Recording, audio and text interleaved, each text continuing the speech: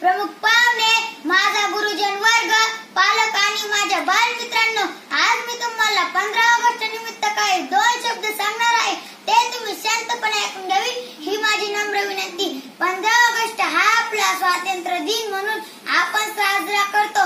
एकोणीसशे सत्तेचाळीस साली भारत भूमी ब्रिटिशांच्या जुलमी राजवटीतून मुक्त झाली. भारताच्या स्वातंत्र्याला आता बहात्तर वर्षे उलटून गेली आहेत परंतु अजूनही आपल्या स्वातंत्र्याचा खरा अर्थ कळला असे म्हणणे धाडसे ठरेल पंधरा ऑगस्ट आणि सव्वीस जानेवारी हे दोन दिवस भारतीय नागरिकांसाठी राष्ट्रीय सण आहेत. भारत आज एक प्रबळ प्रजासत्ताक म्हणून जगामध्ये दमदारपणे वाटचाल करताना दिसते. स्वातंत्र्य मिळण्यासाठी असंख्य हुतात्म्यांची आहुती पडली. अनेक क्रांतिकारक फासा गेले तेव्हा भारतीयांना स्वातंत्र्याचा प्रकाश दिसू शकला आहे. परंतु प्राणांप्राण केलेल्या देशभक्तांचा बलिदानाची आज कुणालाच फिकीर नाही. ह्याचा अनुभव वारंवार